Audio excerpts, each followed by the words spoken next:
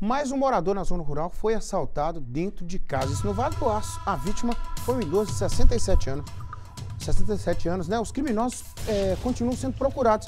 É, aí a gente vai falar do, do 181, disso, denúncia, quem tiver informação, né? É, a Gisele tem detalhes aí e nos conta onde que aconteceu isso, né, ô Gisele?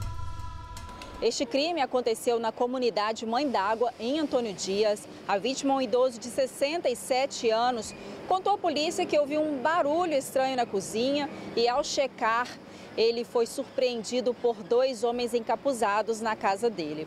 Com uma garrucha, este idoso foi ameaçado e os criminosos exigiram dele dinheiro. E ele, com medo, entregou tudo que tinha, aproximadamente 800 reais em dinheiro para os criminosos que, em seguida, fugiram.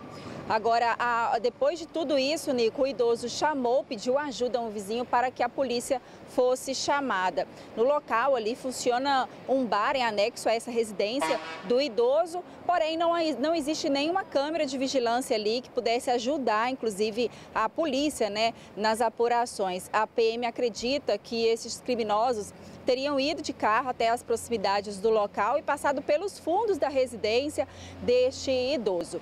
Estes assaltantes não foram encontrados. Nico?